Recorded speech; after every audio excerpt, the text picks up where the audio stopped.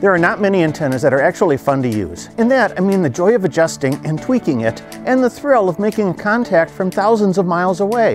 One such antenna that delivers both is this, the Chameleon F-Loop antenna.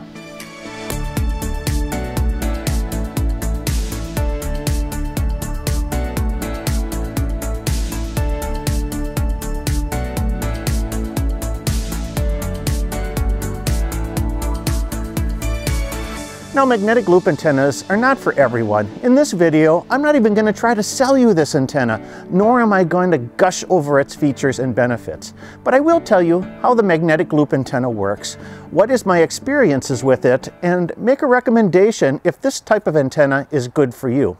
So please stick around to the end of the video for that. Chameleon did send me an F-Loop 3.0 Plus kit for consideration, and my comments and experiences with it are my own without any outside influence. Magnetic loop antennas consist of three components. The first and most noticeable is the large primary loop. This loop circumference is typically within one-third to one-eighth of the operating frequency range of the antenna. Inside this primary loop is a smaller conducting loop. RF energy is fed into the conducting loop and it is and the electromagnetic coupling between these two loops are what creates the RF radiation. The third part is the tuning capacitor, which is connected to the large primary loop. Loop antennas have a low radiation resistance and the purpose of this capacitor is to eliminate reactance so that the loop becomes a resonant radiator. Since it is a resonant antenna, no antenna tuner or transmatch is required. Since magnetic loop antennas have a low radiation resistance, high currents flow through this primary loop. These current flows are what radiates the RF energy in the form of electromagnetic coupling. These current flows are a limiting factor of magnetic loop antennas as if you give them if you give them too much transmitter power, this capacitor will arc and short circuit. With that said, magnetic loop antennas are a great choice for QRP or lower power operating, and we'll talk about the benefits and the features of that in a bit. But first, let's look at the Chameleon F-Loop kits. The F-Loop is the third generation of the popular Chameleon uh, magnetic loop antennas. Uh, the key difference between this and its predecessor is that the F is that the F-Loop 3 is smaller, lighter, and more compact. The key component of the F-Loop is the tuning box. This box consists of an air gap capacitor that is adjusted by this knob in the front. The knob engages a 6 to 1 Vernier drive for very fine and smooth adjustments. The F-Loop is capable of operation between the 10 through 80 meter bands. On the top of this box is a switch, which engages two ranges of the capacitor. Uh, the, the higher range, 10 through 30 meter bands, and the lower range, 40 and 80 meter bands. On the sides of this box are two sets of connectors. Uh, these UHF female connectors are for attaching a coaxial cable for the primary loop, and there are also two tabs for attaching an optional rigid aluminum loop. The F-Loop kit comes in three different configurations. The basic kit has everything you need for 10 through 80 meter operation, including the tuning unit, two sets of LMR 400 coax cable radiators, a 6.5 inch coupling loop, telescoping mast, 12 feet of coax cable with integrated chokes, one barrel connector, user guide, and a shoulder bag for carrying the kit. The Plus kit contains all of the basic kit items with the addition of two additional pieces a two-section aluminum radiator for 10 through 40 meter operation, and a larger 7-inch coupling loop. And finally, the F-Loop Total Kit, which is not pictured, swaps out the aluminum radiator of the Plus kit for a longer 146-inch piece of LMR 400 and an 8-inch coupling loop. This total package is supposed to give you better performance, especially on the 15 through 40 meter bands. All three kits come with an extensive user guide that is full of information on the F-loop assembly and operation. As hams, we don't like to read the user guide, but I encourage you to study this one before attempting to use the F-loop. It really will mean the difference between success or not. Assembling your F-loop magnetic loop antenna is pretty straightforward. I found that with a bit of practice, I can have this put together and ready to tune in a couple of minutes. Now for my F-loop, I'm using a photographic tripod uh, to hold the, the loop assembly The F-loop doesn't really come with any type of stand, but there are a couple of options for supports. Chameleon sells either their spike mount or jaw mounts for mounting it close to the ground or on a picnic table or similar spot. On the bottom of the uh, tuning section, there is a uh, one quarter inch uh, a thread for uh, attaching the tuning box to a photographic tripod. Uh, I'm using a, uh, a Bogen uh, tripod with their quick release plate in order to um, attach the tuning box to my uh, tripod. But you could use any type of mounting plate or, or tripod for that, for that matter, including a Chameleon's compact tripod. That would be a, a great option too. There's also a 3 8 inch hole for bolting it onto a clamp or other type of support. So you've really got a lot of different options for um, mounting uh, this antenna to a stand or support of some sort. To assemble the loop, first screw the telescoping mast onto the top of the tuning unit. Next, screw the 6.5 inch coupling loop to the top of the telescoping mast. The coupling loop should be oriented upwards with the UHF connection pointing downwards. Next, connect the LMR 400 coaxial cable ends to each side of the tuning unit. Use a piece of the Velcro on the coax to attach the larger primary loop to the smaller coupling loop. Finally, raise the telescoping mast so that the primary coaxial loop takes on a circular shape. If you're using the aluminum radiator that comes with the Plus package, the assembly will be quite similar. There are three sets of screws to attach the aluminum sections. Use one set to connect the aluminum sections together and the other sets to attach the radiator to the two tabs on each side of the tuning unit. Then attach the 7-inch coupling loop to the telescoping mast and raise the mast until it is about 1 quarter inch away from the aluminum radiator. For optimal performance, the two sections should not be touching. A small piece of Velcro is included to secure and stabilize the coupling loop to the primary or radiating loop. Now we get to the fun part, tuning your F-loop antenna. Magnetic loop antennas have a very high Q, or quality factor. What that means is that their 2 to 1 bandwidth is very sharp and pronounced. As you go lower in frequency, the bandwidth shrinks. This loop will have approximately 210 kilohertz of bandwidth on the 10 meter band, but on 80 meters, the bandwidth drops down to 6 kilohertz. This is due to the function and size of the radiating loop to a certain degree, a larger loop will give you more bandwidth on the lower frequencies, but even, even with that, there are limits. Basically, if you want to change frequencies, you're going to have to readjust the antenna. There are two methods of adjusting or tuning the loop. The first is to use an antenna analyzer. Connect the analyzer and turn the tuning knob until you see a dip on the meter. As you are tuning, you will notice that touching the unit will slightly detune it. So as you are tuning, you need to step away from the unit to get a more accurate reading on the analyzer. The knob is very sensitive and the 6 to 1 reduction drive lets you do very precise adjustments. When you get it in the, into the ballpark, it will take very slight movements of the knob to hit that sweet spot. The second method to tune a loop is to listen to your transceiver. As you turn the knob, you will hear the noise level increase and then decrease.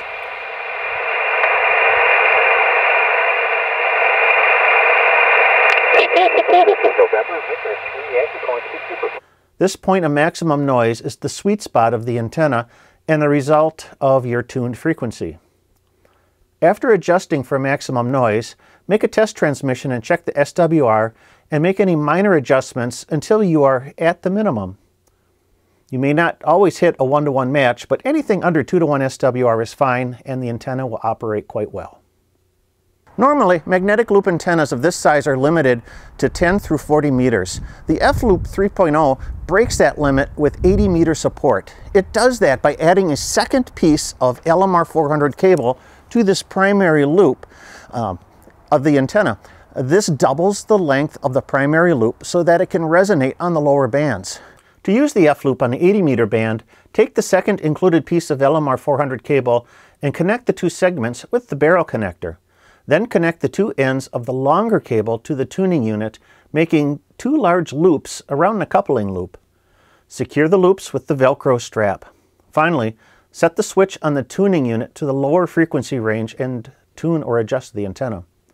You will have about 6 kilohertz of bandwidth on 80 meters, so tuning will be quite sensitive. What are my experiences with the Chameleon F-loop magnetic loop antenna? Generally, I had a lot of fun with this antenna. It sets up and tears down quickly, it is reasonably efficient, and by virtue of the use of A or magnetic fields, it is highly resistant to man-made noise. That makes these antennas great choices if you're in an urban environment or residential area that is prone to RF interference. I took this antenna out for a few Parks on the Air activations to test its performance. CQ, CQ, Parks on the Air, CQ Parks on the Air, KB9VBR, Kilo Bravo Niner, Victor Bravo Romeo, calling CQ for Parks on the Air. Kilo Charlie 1, Papa Delta Whiskey. Kilo Charlie 1, Papa Delta Whiskey. Nice signal, 5-9 into Kilo 1473. Back to you. Thank you very much. I uh, love your videos and I appreciate all you do. And the antenna that I got up in here is a uh, 49 to 1 NFED that I watched off one of your videos. All right, that's great. great to hear. So I'm glad to, I'm glad the NFED's working well for you. You got a great signal. I'm running. Yeah, I'm trying a new new antenna myself, QRP with a magnetic loop. So um, yeah, we'll see how it how it does today. Well, you're coming in loud and clear into uh, Mike Echo, so I give you at least a 5-2 with that right now, especially doing what you're doing. Well, I'll take the 5-2 QRP, that's for sure. So, um, yeah, uh, really appreciate it. You have a great day. Well, you too, 73 and POTA on. November 4, Yankee November uniform. November 4, Yankee November uniform. Nice signal, 5-5 into kilo 1473. Back to you. QSL on the 5-5 and QSL on the 1473. You are also 5-5 in Richmond, Virginia. QSL? QSL, the Richmond, Virginia. And uh, thanks a lot for the contact today. Thank you very much for the park and have a great day. 73. You too take care, 7-3. Uh, KB9VBR, Parks on the Air, QRZ. Kilowatt 6. Romeo Charlie. Kilo 6, Romeo Charlie, 5-3 into Kilo 1473. Back to you.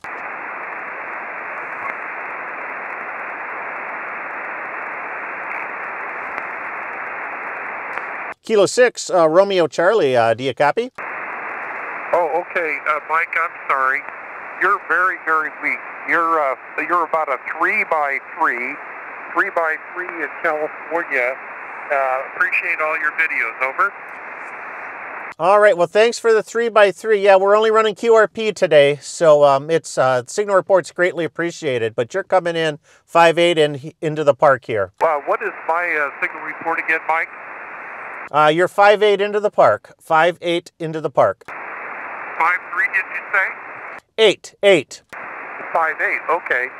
Well, thank you very much, and uh, again, thanks uh, for all that you do for uh, Parks on the Air. KB9VBR, K6 Romeo Charlie Dave in California. All right, Dave. Well, thanks for the California. Uh, you have a great day, and 7-3. Uh, this is KB9VBR, Parks on the Air, QRZ. Whiskey Juliet 1, Mike Kilo. Whiskey Juliet 1, Mike Kilo, nice signal, 5-5 into Kilo 1473. Back to you. QSL, you're 5 and 6, 5 and 6 into New Hampshire. All right, well, thanks a lot for the New Hampshire today. It's greatly appreciated. Not a problem. Enjoy the rest of your day. 7-3. The antenna paired really well with my Yaesu FT817 QRP transceiver. I would think that this is an excellent uh, companion also for the ICOM IC705, the Elecraft KX series, or the Xiegu G90 or 6100 low power rigs. Magnetic loop antennas are often characterized as QRP antennas, and the F-loop can handle up to 25 watts with sideband and 10 watts CW or digital. If you use more power than that, uh, the air capacitor inside the tuning unit will start to arc. And therein lies the, one of the problems or misconceptions that magnetic loop antennas are poor performing antennas. In reality, they're not. A magnetic loop will work just as well as other antennas. At their best, a magnetic loop on the upper bands is comparable in performance to a dipole. At their worst, uh, they might be 6 dB or 1 S unit lower than an optimized three-element beam antenna, uh, which brings me to my on-the-air test. So today we're going to try something a little bit different. I'm set up with the uh, Chameleon F-Loop, and I'm going to run this for about a half hour, 45 minutes on FT8 and uh, see how many signals, how many contacts I can make. And then I'm going to switch to the quarter wave vertical antenna and run that for about a half hour, 45 minutes, and see what kind of results I get with that. And see if we can compare the signal reports uh, between the uh, vertical antenna and the loop antenna and determine what kind of difference there are between the two. Looking at the data, the magnetic loop performed quite favorably when compared to my customary quarter wave vertical antenna. On FT8, uh, the signal reports were uh, equivalent. Uh, using my Yaesu FT817 and 5 watts of power, I was uh, ran both antennas on the 20 meter band for about 45 minutes each. And in that time period, received about 18 contacts on each antenna. Uh, with the magnetic loop, I gave an average signal report of a minus 9 and received a report of minus 11. Uh, with the vertical, I gave a signal report of a minus 13 and received a minus 12 dB. To me, that isn't much of a difference. In fact, the only difference that I can tell is at looking at maps of the contacts. The distance achieved with the vertical were further than the magnetic loop.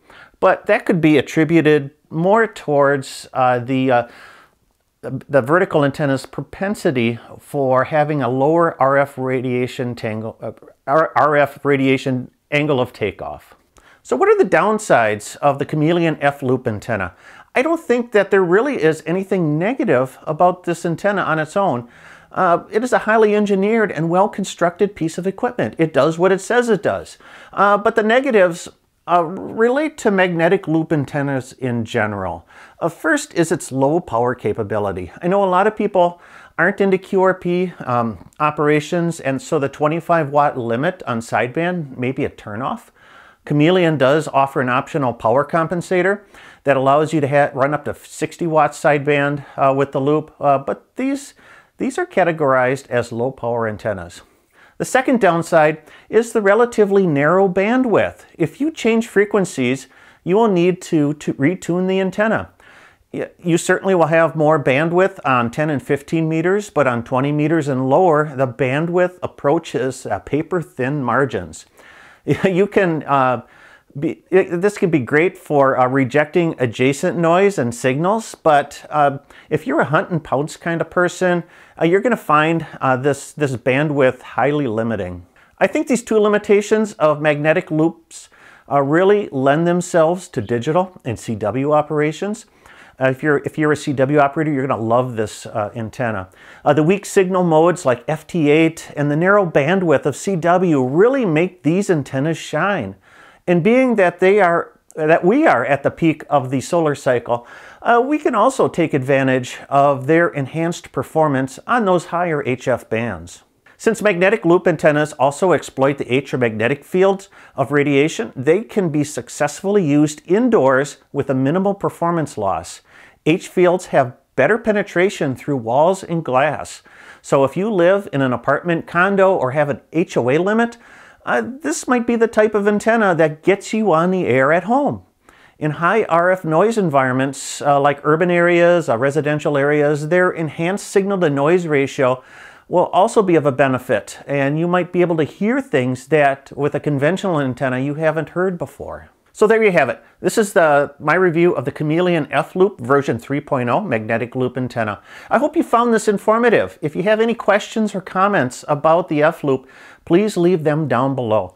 I'll answer them as I'm able to. I'll also post uh, some bonus material of my Parks on the Air sideband activation uh, for my patrons. Becoming a member over at patreon.com slash KB9VBR antennas will unlock that content for you. But that's it for now. I'm Michael, KB9VBR. Thanks for watching. Have a great day in 73.